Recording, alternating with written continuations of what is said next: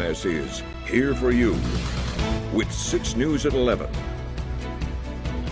Lansing police are stepping up enforcement in an effort to keep Thanksgiving Eve celebrations safe. It's our top story tonight at 11. Thanks for joining us. I'm Sherry Jones. As many people around mid Michigan head out to catch up with family and friends, Lansing police are cracking down on unsafe driving throughout the Thanksgiving holiday weekend. Our Josh Sanchez is here for you now with how you can help keep the roads safe. Josh? Sherry, while people are making new memories over a pint of beer tonight, police say officers are keeping an eye for people texting, not wearing their seatbelts, or even driving drunk.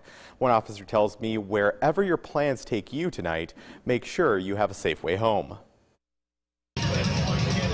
Food and drinks line the tables at Crunchy's, a bar near Michigan State University's campus. For some alumni coming home for Thanksgiving, it's a chance to catch up. Oh, it's the best feeling in the whole world. I was literally so excited all day, and I feel like it's going to be fantastic because I'm going to feel like I'm 21 again. It feels good. Um, it feels like I'm back home, so it's nice. A night out on the town also means coming up with a game plan. I plan to Uber tonight or, or, ask a friend for a ride who wasn't drinking. Who wasn't out with us. so one of our um, friends is actually pregnant, so she is the DD tonight. it worked out well. Having a safe plan to get home is something Lansing Police Officer David Dalen is glad to hear. He, along with several other officers, are hitting the streets as part of the department's maximum enforcement period. Maximum enforcement is we're out looking for impaired drivers, careless drivers, distracted drivers, speeders, any kind of unsafe moving violation, we're going to be taking enforcement action on. Officer Dalen says that can mean tickets for being unbuckled to even getting arrested if you drive impaired.